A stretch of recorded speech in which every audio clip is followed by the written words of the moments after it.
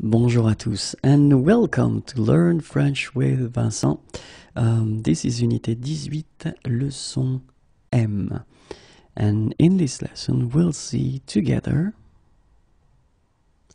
le verbe valoir. Okay, so we can start right now. And uh, well, it's interesting because um, in some situations you you can hear uh, sentences like "Ce stylo vaut un euro." Okay, and quite often students ask me, you know, what is the verb actually? Because it's a strange form, vaut. Okay, and uh, they have some difficulties to spot the infinitive. And uh, well, basically, this vaut is valoir, okay? And the translation of valoir would be to be worth, okay? Ce stylo vaut un euro. So in that case, of course, you want to give the information regarding the price of uh, le stylo, okay? And then you can use, well, basically this verb valoir. Ce stylo vaut un euro. Let's see another example, and this one is quite interesting as well. Ça en vaut la peine. Okay, so same thing here. Vaut is valoir, okay, and it's the third person, and it's exactly the same meaning to be worth, okay. Ça en vaut la peine. But if we look carefully, then we've got la peine, okay, the effort, difficulty, trouble, and then ça, well, translation would be it.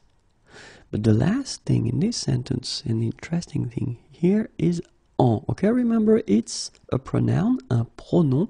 Okay, and normally this en is used when it replaces something introduced with the preposition de. Okay, so la peine de faire quelque chose. Okay, so the, the effort, the trouble to do something. Okay, and this is the reason why we get this actually quite strange structure when you see it for the first time. Ça en vaut la peine.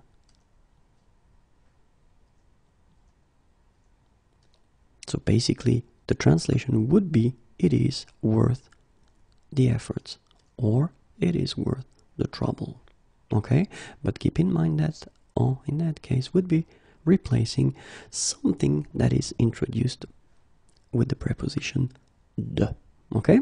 So let's see now as usual la conjugaison du verbe valoir okay? So how do we conjugate this strange but useful verb? So valoir is right here and we'll see the present form. Je vaux. Tu vaux. Il vaut, elle vaut, nous valons, vous valez, ils valent, elles valent. Okay? So as usual, look, je vaux, tu vaux, then il vaut, elle vaut. It's phonetically exactly the same thing, but keep in mind you will have to put x, x, t, t. Then you will get for the plural form nous valons, vous valez, okay, so the classic endings ONS, EZ, and then ils valent, same thing here, ENT, elles valent, ENT. So it's basically not that tricky if you're thinking about the plural form. For the singular, it's a bit more strange in a way because it does change a little bit, okay? Vaut, vaut, vaut, and vaut.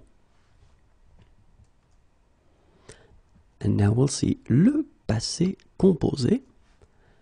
J'ai valu, tu as valu, il a valu, elle a valu, nous avons valu, vous avez valu, ils ont valu, elles ont valu. I don't know what is happening with my mouse. It's a wild mouse now. But then, okay, so basically, no big surprises here because uh, valoir is using avoir, okay, like most of the verbs, so you will have to put avoir here. And then le participe form that you will put after is not that difficult because it's valu, okay, and as usual it doesn't change.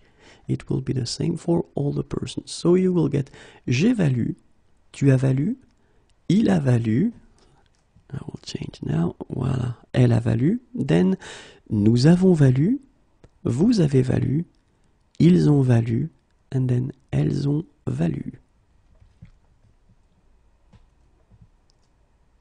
Let's see now le futur simple de valoir. So the future form. And you will get je vaudrais, tu vaudras, il vaudra, elle vaudra, nous vaudrons, vous vaudrez, ils vaudront, elles vaudront.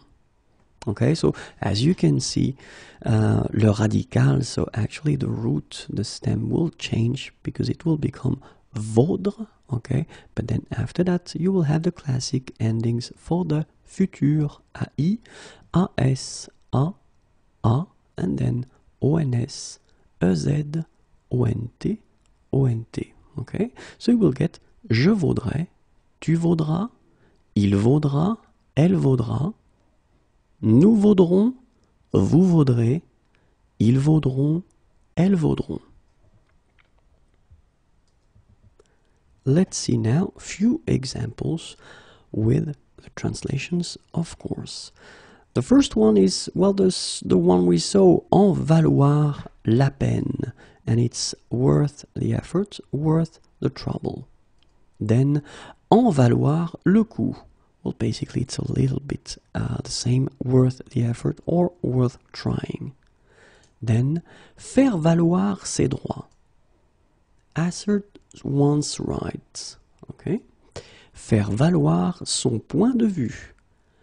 Assert one's point of view. Ne pas valoir un clou. Be worthless. Valoir le coup be worth a shot, valoir son pesant d'or, be worth its weight in gold, valoir le détour, be worth the journey. Okay, so you can see these expressions uh, that are using the verb valoir. En valoir la peine, en valoir le coup, faire valoir ses droits, faire valoir son point de vue, ne pas valoir un clou, valoir le coup, valoir son pesant d'or, valoir le détour.